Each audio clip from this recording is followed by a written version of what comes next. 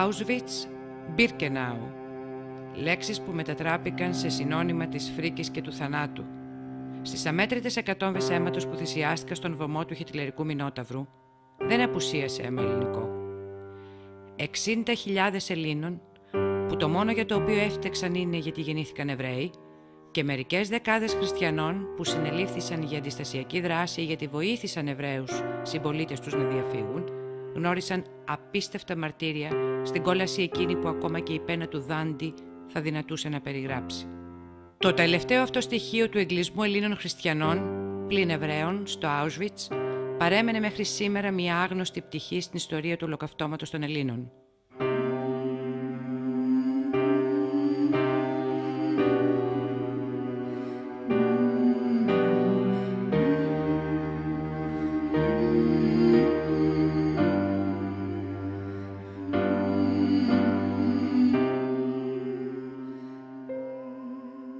Στις 15 ε, Μαρτίου του 1943 μας μάζεψαν αφού μας είχαν συγκεντρώσει στο, από τον κέντρο του Βαρών Χίρς όλη την οικογένειά μου και μαζί με αυτούς άλλους 2.800 Εβραίους της Θεσσαλονίκης, πρώτη αποστολή και μας στείλανε όλους στο Auschwitz. Ακολούθησαν κάπου 15 αποστολές, από αυτές 15 αποστολές από τους 45.043 Εβραίους της Θεσσαλονίκης που ήταν γεγραμμένοι στα Μητρώα της Θεσσαλονίκης γυρίσανε μόνο χίλιοι. Το όνομά μου είναι Χάιντς Κούνιο. Ήμουν όμοιρος στα γερμανικά στρατόπεδα εξοντώσεως του Auschwitz. Η πορεία στο τρένο ήταν πολύ άσχημη, διότι σε ένα βαγόνι φορτηγό όπως τα σημερινά βαγόνια, τα φορτηγά τα οποία υπάρχουν του τρένου, είχαν στη βάξη κάπου 80 ανθρώπους οι οποίοι υποχρεωτικά μένανε όρθιοι διότι δεν είχε χώρο.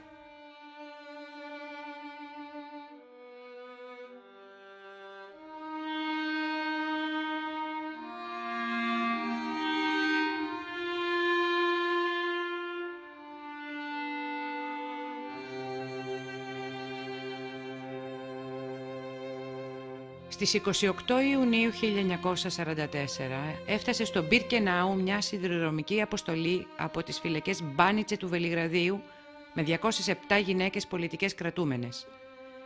Από αυτές οι 22 ήσαν Ελληνίδες, επονίτησες, καταδικασμένες για τη στασιακή δράση.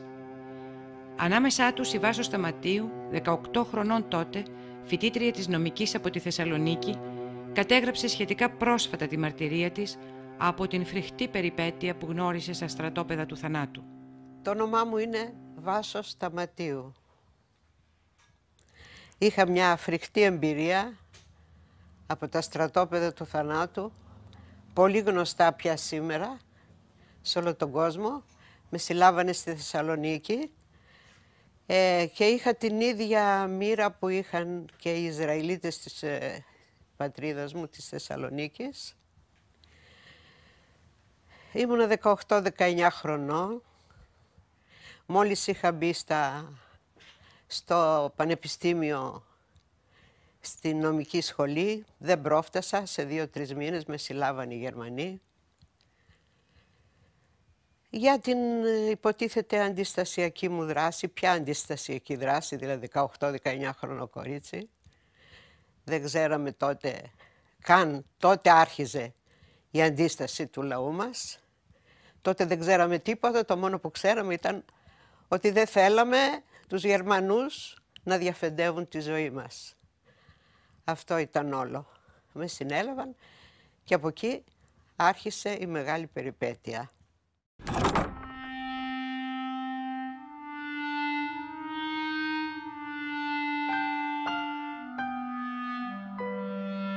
Σε ολόκληρο το διάστημα που μεσολάβησε από την πρώτη άφηξη των Ελλήνων στα στρατόπεδα Auschwitz-Birkenau, ένα κομμάτι Ελλάδα ζούσε ή πέθαινε σε αυτά, αλλά πάντως παλόταν σαν μία καρδιά. Μέσα σε άθλιες συνθήκες μια ολόκληρη κοινότητα ανθρώπων, συμπαγής και με υψηλό βαθμό εθνικής συνείδησης, οι Έλληνες, κατάφεραν να εντυπωσιάσουν ακόμα και τους ίδιους τους συγκρατούμενούς τους.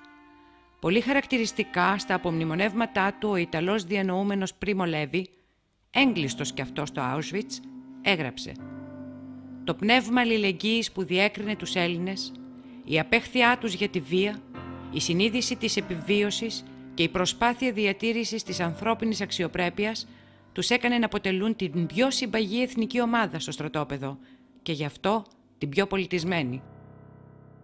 Μόλις φτάσαμε στο Auschwitz, υπήρχε ο νόμ, ένας νόμος εκεί να μας βάλουν σε ένα μπλοκ καραντίνα, όπως λεγότανε. Το μπλοκ καραντίνα, αν θυμάμαι καλά, δέκα νούμερο είχε, αν το θυμάμαι καλά. Ε, εκεί έπρεπε να μείνεις για να περάσεις ε, διάφορες ε, εξετάσεις για αρρώστιες, αν υπήρχαν ε, διάφορες αρρώστιες. Εξετάσεις, φάρμακα, κάτι τέτοια. Ε, μας είχαν κόψει την περίοδο φυσικά αμέσως μόλις φτάσαμε. Μέσα στη σούπα και μέσα στο καφέ που μας δίναν το πρωί, το ερζάτς αυτό το, όχι καφέ, ερζάτς. Ε, υπήρχε φάρμακο που δεν είχαμε την περίοδό μας πια δεν γινόταν και να, να υπάρχουν τέτοιες πολυτέλειες. Μέσα σε ένα περιβάλλον θανάτου, οι Έλληνες γρήγορα συνειδητοποίησαν πως έπρεπε να ανακαλύψουν παρά τους αυστηρούς περιορισμούς επικοινωνίας μεταξύ τους, μηχανισμούς συνεννόησης και στήριξης ο ένας για τον άλλον. Λόγια παρένεσης και συμβουλές ψιθυριστά στο αυτί εκείνων που έφταναν σαν χαμένοι από τους παλαιότερους ήταν ένα σοβαρό στήριγμα και μια παρηγοριά για όλους, ακόμα και για αυτούς που οδηγούνταν απευθείας στον θάνατο. Η τελευταία αποστολή η οποία έφυγε από την Ελλάδα και ήταν η τελευταία της Αθήνας, στην οποία περιλάμβανε και Εβραίους της ε, Κερκύρας, Εβραίους των Πατρών και ήταν μια τελευταία αποστολή την οποία κάνανε προς, την, ε, προς το στρατόπεδο του Auschwitz με αυτούς τους ανθρώπους ήταν αυτοί οι οποίοι επελέγησαν για να δουλέψουν στα κρεματόρια. Ε, αυτή η αποστολή έγινε κάπου τον Απρίλιο ή κάτι τέτοιο του 1944. Επιλέχθηκαν πολλοί Έλληνες, εκ των οποίων και ορισμένοι σώθηκαν. Με την ιστορία των Ελλήνων ομήρων στο Auschwitz-Birkenau συνδέεται και η μοναδική περίπτωση στα χρονικά όλων των ναζιστικών στρατοπέδων, κατά την οποία κρατούμενοι εξεγέρθηκαν μετά από ένα οργανωμένο σχέδιο που παραμένει άγνωστο ακόμα σήμερα από ποιον προδόθηκε την τελευταία στιγμή. Παρ' όλα αυτά, οι ήρωες εκείνοι κατάφεραν να ανατινάξουν ένα από τα πέντε κρεματόρια του στρατοπέδου, το κρεματόριο 4. Η εξέγερση του στρατοπέδου του Auschwitz η εξέγερση αφορούσε το κομμάντο. Κομμάντο σημαίνει μια ομάδα εργασίας η οποία ήταν του κρεματορίου έγινε από αυτούς τους ανθρώπους οι οποίοι δουλεύαν στα κρεματόρια. Τα κρεματόρια δεν ήταν ένα και δύο και τρία και τέσσερα, ήσαν πέντε. Και όλα κάποτε δουλεύανε μαζωμένα. Ιδίως στους τελευταίους μήνες του Auschwitz. Οι εξέγερση είχαν προσυνεννοηθεί τα κομμάντο εργασίας εκεί, ονομάζονταν Sonderkommando. Το Zender Commando ονομάζονταν Zender Commando που σημαίνει κατεξαίρεση, είχε, είχε, είχε εξαιρέσιμο ας το πούμε κομμάντο. Η διαφορά του ήταν ότι δεν έπρεπε να είχαν καμία επαφή οι άνθρωποι του με τους άλλους. Συνεννοήθηκαν όλοι τους μεταξύ των κρεματορίων ότι θα κάνουν εξέγερση, διότι δεν υπήρχε πλέον άλλη λύση.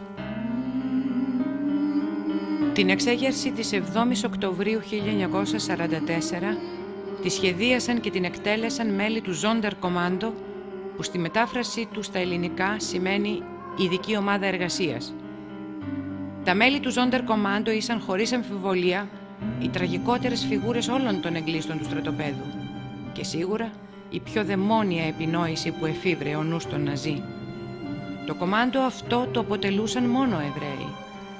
Εβραίοι ήσαν αυτοί που έπρεπε να βάλουν τους δικούς τους ανθρώπους στους φούρνους έπρεπε να φανεί, σύμφωνα πάντα με την ναζιστική ιδεολογία, ότι οι Εβραίοι, αυτή η κατώτερη ράτσα, αυτοί οι υπάνθρωποι, σκύβουν σε κάθε ταπείνωση, ακόμα και στην καταστροφή τους. Δώδεκα τέτοια κομμάντο δούλεψαν διαδοχικά στο Auschwitz, το καθένα για λίγους μήνες. Κάθε νέο κομμάντο έκαιγε τα πτώματα των προηγουμένων, αφού κανένας τους δεν έπρεπε να επιζήσει για να μπορεί να μιλήσει για αυτό το φρικτό μυστικό της εξόντωσης ανθρώπων μέσα στα κρεματόρια. Με τον τρόπο αυτό όμως ελεγχόταν και η αδίποτε απόπειρα ή επιθυμία να εξεγερθούν, παραμένοντας απομονωμένοι από όλο το υπόλοιπο στρατόπεδο, ακριβώς για να μην μεταδώσουν το περιεχόμενο της αποστολής τους μέσα στα κρεματόρια. Αλλά και σε αυτό ο πολυμήχανος ελληνικός νους βρήκε λύση. Έλληνες, τραγουδώντας δίθεν ελληνικά τραγούδια του Μάρκου Βαμβακάρη, με αλλαγμένους στίχους, φρόντισαν να μεταφερθεί στο γειτονικό Κάναντα Κομάντο, όπου γινόταν διαλογή των ρούχων και όπου γνώριζαν ότι εργάζονταν αρκετές Ελληνίδες, τι γινόταν μέσα στα κρεματόρια. Κάποια στιγμή ο τακτικός εξωματικός του ελληνικού στρατού, ο Ερέρα, ο οποίος είναι και αυτός μέλος του κομμάντο, του Ζόντερ κομμάντο, τον είχαν βάλει να δουλέψει και αυτόν στα κρεματόρια, κουβαλούσε τις τάχτες των νεκρών τις οποίες τις αδειάζανε κάθε τόσο όταν δεν λειτουργούσαν οι φούρνοι και τις χύνανε στη μικρή λιμνούλα που ήταν πάνω εκεί, εκεί δίπλα κοντά στα κρεματόρια. Κουβαλούσε σε αυτή τη λιμνούλα σε καροτσάκι στάχτες όπως εισάριαζε από τους φούρνους και κάποια στιγμή ο Γερμανός ο οποίος του συνόδευε ε, κάτι τον είπε, θύμωσε με τον Γερμανό, σηκώνει την αξίνα και τον δίνει μια στο κεφάλι και τον σκοτώνει. Από εκείνη τη στιγμή έπαιρνε να τον, ήταν πλέον κυνηγημένος, έπαιρνε να τον κυνηγήσουν, τον βρήκαν βέβαια, αλλά από εκείνη τη στιγμή ήρθε ύστερα από πολύ λίγο χρόνο η απόφασης από το Βερολίνο να κλείσουν όλα τα κραματόρια. Εγώ πιστεύω προσωπικά ότι ήρθε η απόφαση λόγω αυτής της γενναίας πράξης του Λουχαγού λόγω του ότι οι Ρώσοι ήσαν ήδη πολύ κοντά και λόγω ίσως ότι είχε πλέον τελειώσει η, η, η, πρακτική πλέον ότι όχι ότι δεν θέλουν να, να σκοτώνουν άλλους, αυτό θέλουν συνέχεια να σκοτώνουν και να καίνε, αλλά έπρεπε να εξαφανίσουν τα ίχνη.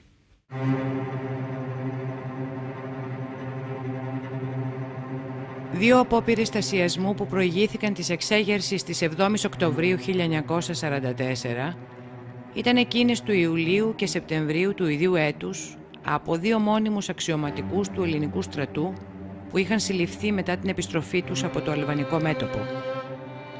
Ήσαν ο Ιωσή Βαρούχ που συνελήφθη στα Γιάννενα και ο Αλβέρτος Ερέρα από τη Λάρισα. Ο Ερέρα, τη στιγμή της απόπειρας, αν και πληγωμένος, κατάφερε να διαφύγει στο γειτονικό δάσος μέχρι δυστυχώς να τον ανακαλύψουν τα σκυλιά των ΕΣΕΣ που αφού τον βασάνισαν δέρνοντάς τον ζωντανό, τον έριξαν σπαράζοντας από τους πόνους μπροστά στα μάτια των υπολείπων στους φούρνους. Τις επόμενες μέρες οι Έλληνες του στρατοπέδου μιλούσαμε με περηφάνεια για την πράξη του συμπατριώτη μας, που κατάφερε τουλάχιστον να σκοτώσει δύο από τους ΕΣΕΣ, έλεγε ο διασωθής Ερίκος Εβίλιας από την Αθήνα. Οι κρατούμενοι έπιασαν εκ νέου το σχέδιο για εξέγερση που είχαν αφήσει στη μέση. Κατόρθωσαν μάλιστα να προμηθευτούν ικανές ποσότητες δυναμίτη από τέσσερις γυναίκες που εργάζονταν στο εργαστάσιο της Union μέσα στο στρατόπεδο. Μία από αυτές ήταν Ελληνίδα, ονόματι Σάρα. Στις 7 Οκτωβρίου 1944, ημέρα Σάββατο, οι Γερμανοί επιχείρησαν να απομακρύνουν επιπλέον 200 άνδρες, Έλληνες και Ούγγρους, που είχαν ήδη επιλεγεί για εξόντωση.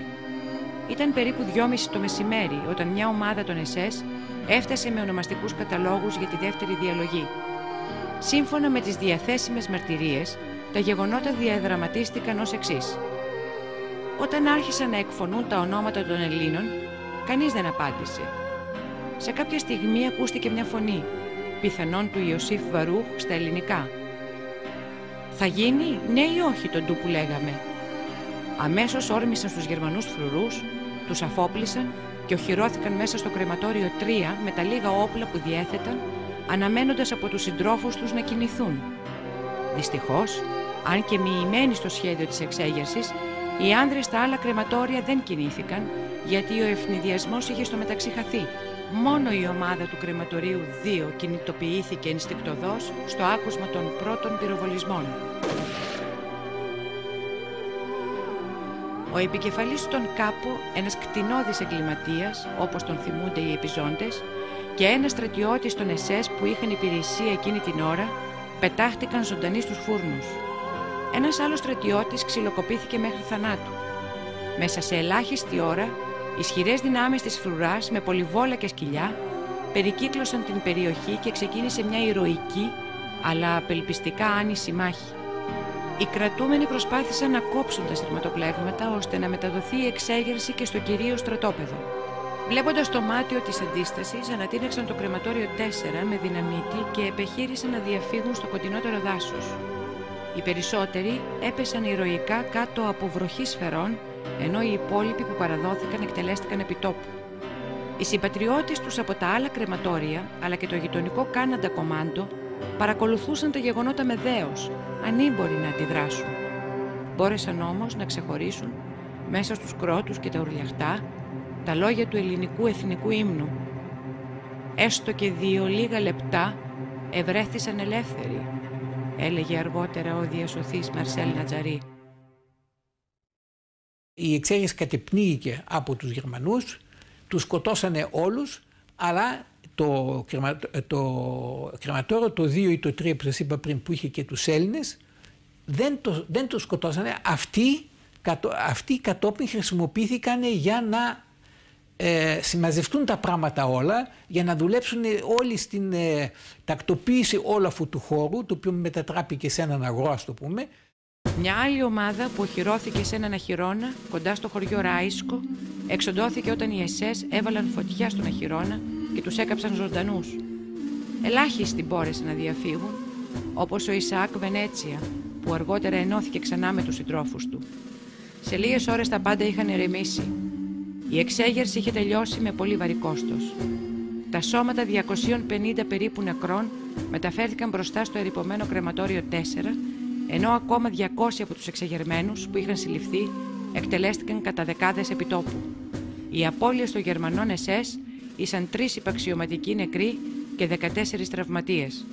Ε, είναι γεγονός ότι οι, οι Έλληνες οι οποίοι δουλεύανε στο, ε, στο μπλοκ του Ζόντερ Κομάντο που, που, που, που δεν ακολουθήσαμε την εξέγερση αλλά εξεγερθήκανε και αυτοί είχαν υψώσει και, είχαν υψώσει και ελληνικές σημαίες από κουρέλια που βρήκαν το μπλε δεν το ξέρω αλλά το άσπρο υπήρχαν από τα σεντόνια του που κάτι βρώμικα καλύματα τα οποία είχαμε και κάναν ελληνικές σημαίες. Την επόμενη μέρα τα 450 θύματα αποτεφρώθηκαν στα κρεματόρια από τους 198 εναπομείναντες συντρόφους τους. Από τους Έλληνες μόνο 26 είχαν επιζήσει. Ο επίλογος της εξέγερσης του Auschwitz γράφτηκε στις 2 Ιανουαρίου του 1945 όταν οι τέσσερις κρατούμενες γυναίκες του γειτονικού εργοστασίου της Union που είχαν προμηθεύσει του Ζόντερ Κομπάντο με δυναμίτη απαχωνίστηκαν μπροστά στις συγκρατούμενές τους. Μοναδική περίπτωση στα χρονικά των στρατοπέδων, αφού οι Γερμανοί δεν απαγχώνιζαν γυναίκες σύμφωνα με μαρτυρία του Χάιντς Κούνιο.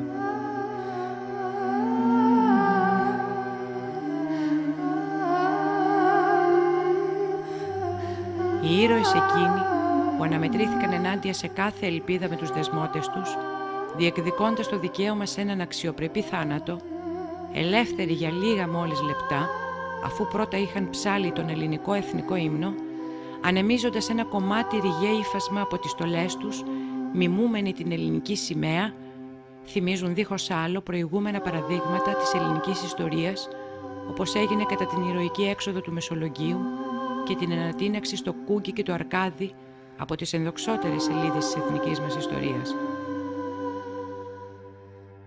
Θέλω να σημειώσω το εξής, δεν υπήρχαν πουλιά στο Auschwitz. Δεν υπήρχε ζωή. Πουλί, υπτάμενο, δεν είχα δει. Είναι η μέρα, θυμάμαι, ήταν, θυμάμαι Σάββατο, ήταν κάποια μέρα ήταν εορτής, μας, μας συγκεντρώνουν στην πλατεία κάθε πρωί μας συγκινώνουν στην πλατεία για να πάμε για δουλειά. Και έρχεται μια ειδοποίηση από Πολωνούς οι οποίοι δουλεύανε, στο, δουλεύανε στα γραφεία των Γερμανών, είχαν καλές θέσεις γραφειακές, να μην πάει κανείς στην πλατεία. Και άμα πάτε, μην, μην, μην υπακούετε. Κάτι μυρισήκαμε, θα θέλω να σκοτώσετε, να κάνουμε και πράγματι μα μας κρατήσαν στην πλατεία, μας διέταξαν να κάνουμε ομάδα εργασίας. Δεν την κάναμε την ομάδα εργασίας. Και ύστερα από λίγες ώρες έρχεται ένα Αμερικανικό τάγκ, ένα Σέρμαν από αυτά σαν σε ένα μεγάλο γουρούνι φαίνεται τέλος πάντων. Δίνει μια την πόρτα, τι ήταν η πόρτα εκείνη η πύλη που τη φοβόμασταν τόσο πολύ, τη ρίχνει κάτω και μπαίνει μέσα στο στρατόπεδο. Όλος ο κόσμος αλλάζει και κατεβαίνει προς την πλατεία. Εγώ δεν μπορώ να περπατήσω, με παίρνουν και εμένα, αχ θέλω και εγώ να πάω, με παίρνουν και με και πάω προς την πλατεία. Και εκεί στην πλατεία βλέπω το μεγάλο το αμερικάνικο το τάγκς και αυτόν έναν, έναν χοντρό αξιωματικό να προσπαθεί να βγει από το, με το κεφάλι του από την τρύπα και το μόνο που θυμάμαι καλά είναι πώς μπορεί αυτός ο άνθρωπος ο χοντρός να χωρέσει και να μπορεί να βγει από το τάγκ. Γυρνάει, μας βλέπει και λέει, ούτε μας είπε ότι είστε ελεύθεροι τίποτε, Έλληνες υπάρχουν εδώ. Ήταν Ελληνοαμερικανός και ζητούσε να μάθει Έλληνες. Και, είχα, και, και είχε Έλληνες, ήταν πολύ, ήταν πολύ συγκινητικό. Τι να σας πω, εκείνη τη στιγμή κατάλαβα τελειώσαν τα βάσανα. Και απελευθερωθήκαμε.